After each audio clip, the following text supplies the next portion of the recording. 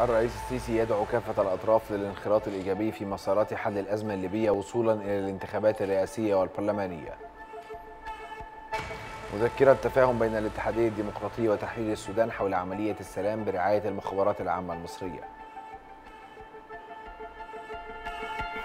شكري يشارك اليوم في اجتماع وزاري رباعي لمناقشة تطورات القضية الفلسطينية.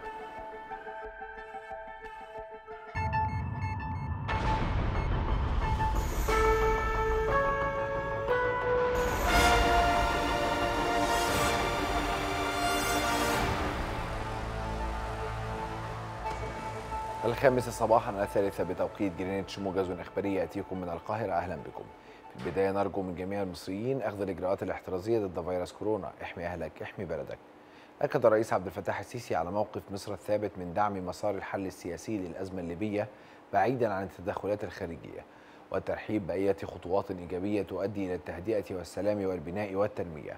وخلال استقباله عقيل صالح رئيس مجلس النواب الليبي والمشير خليفة حفتر قائد الجيش الوطني الليبي بحضور السيد عباس كامل رئيس المخابرات العامة قال المتحدث باسم رئاسة الجمهورية السفير بسام راضي أن الرئيس السيسي دعا كافة الأطراف للانخراط الإيجابي في مسارات حل الأزمة الليبية وصولا إلى الانتخابات الرئاسية والبرلمانية ومرحبا بالتعاطي الإيجابي الملموس لكافة الأطراف سواء في شرق أو غرب ليبيا مع آليات حل الأزمة داعيا كافة الأطراف الليبية لتوحيد مواقفهم للخروج من الأزمة الراهنة وإعلاء مصلحة الوطن فوق كافة الاعتبارات.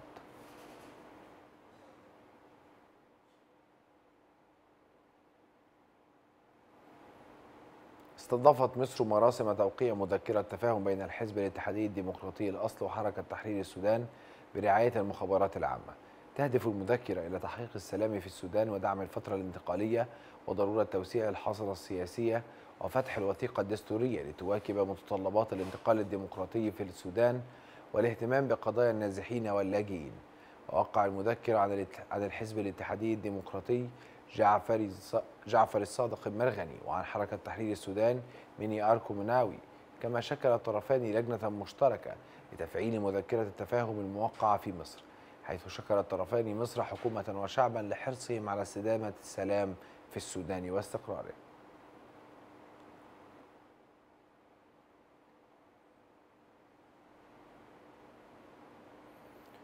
يشارك وزير الخارجية سامح شكري في الاجتماع المقرر عقده اليوم الخميس في العاصمة الأردنية عمان بمشاركة وزراء كل من مصر والأردن وألمانيا وفرنسا وممثل الاتحاد الأوروبي لبحث آخر المستجدات ذات الصلة بتطورات القضية الفلسطينية. يركز الاجتماع على تبادل وجهات النظر حول الوضع الراهن لعملية السلام في الشرق الأوسط وتبعاته وسبل الدفع قدما باستئناف تلك العملية ودعم التوصل إلى تسوية سياسية شاملة وعادلة للقضية الفلسطينية على أساس مبدأ حل دولتين.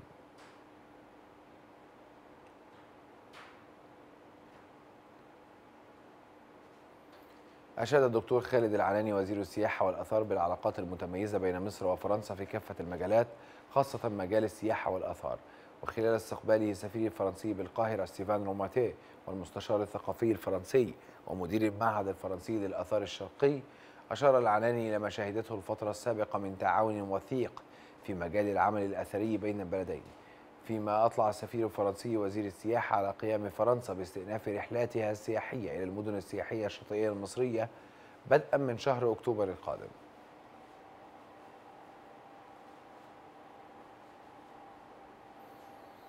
قال الرئيس العراقي برام صالح إن الحرب ما زالت مستمرة مع الإرهاب والتطرف المتحرك عبر الحدود والكامن في خلايا نائمة هنا وهناك.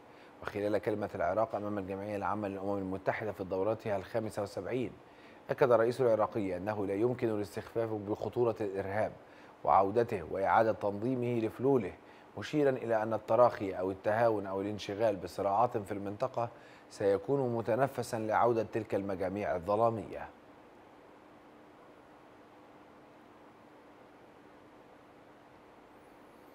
خرجت تظاهرات غاضبة في نيويورك احتجاجا على عدم توجيه اتهامات مباشرة بالقتل إلى ضابط شرطة في ولاية كنتاكي. أطلق النار على شابة من أصول إفريقية تدعى برينون تيلر. وانتقد متظاهرون ونشطاء التهم التي وجهتها هيئة المحلفين الكبرى ضد الضابط المذكور باعتبارها غير كافية حيث اقتصرت التهم على تعريض حياة مواطنين للخطر. وطلب المتظاهرون بتوجيه اتهامات جنائية أكثر شدة واعتقال الضباط الثلاثة المتورطين في إطلاق النار بشكل عشوائي في مارس الماضي.